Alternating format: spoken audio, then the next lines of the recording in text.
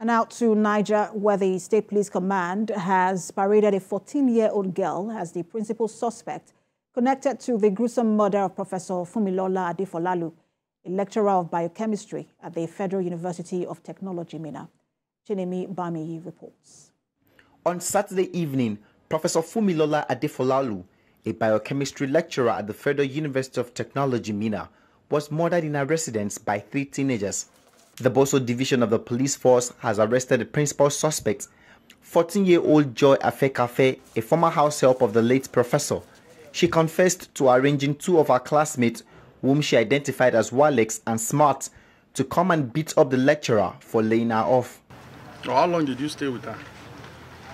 Two to three weeks. Two, two to, to, three, weeks. weeks. So during that time, what happened? What happened between you what and the madam? What happened between you and her?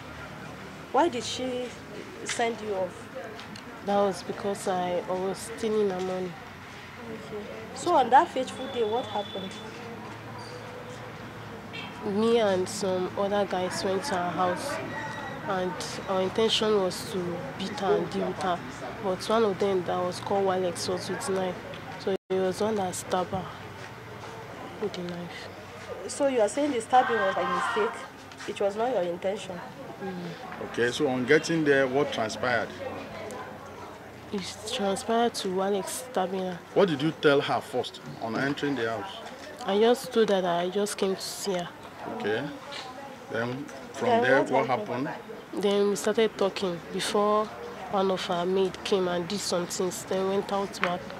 So it was from there Walex and Smart came inside the house. Mm -hmm. So what did Smart and Walex say before stabbing her? What was their reason of stabbing her? They say that um, they told me that if they don't stab her, that she's going to um, report us and they're going to take her. That was the reason why Wallace stabbed her. Actually, they went to the house on Saturday evening. That was on 28 October around 4 p.m. And they moved to the house um, with a knife.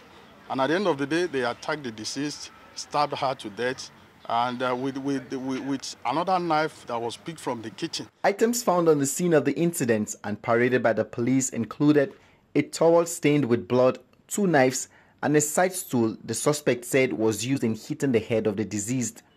Chenemi Bami, TVC News, Minna.